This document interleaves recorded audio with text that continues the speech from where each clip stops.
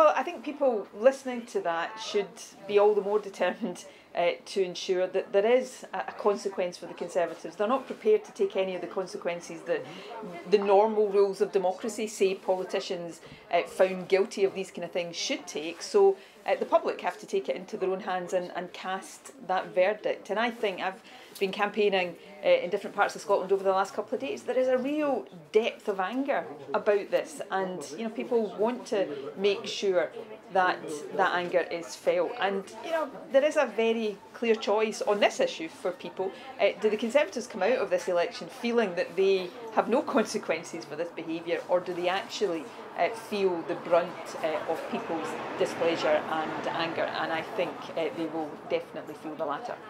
And just to move on to COVID, the face mask uh, rules will move from, uh, on Monday will move to guidance, and your government is very clear that the guidance will be very strong to insist that people continue to wear them. Uh, do you think that Scots will abide by that really strong guidance? Yeah, I do, by and large. I'm not saying every single person uh, will. People will make their own decisions, uh, but I think just as the vast majority of people uh, have abided by all that we've asked of them over the past two years, not because politicians have been asking or the law necessarily has required it, but because people understand that the best way to protect themselves and protect those they love uh, is to abide by these really sensible, basic precautions against the spread of a virus. Now, we can't keep things in law beyond a point where that is deemed to be proportionate.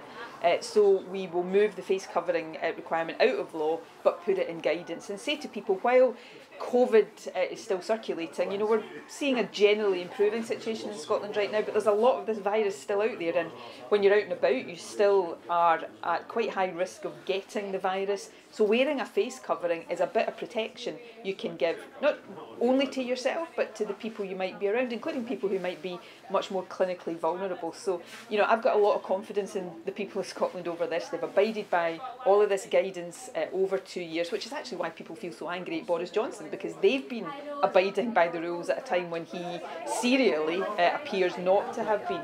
Uh, so yes, I've got confidence in the good sense and the responsibility of the people across Scotland.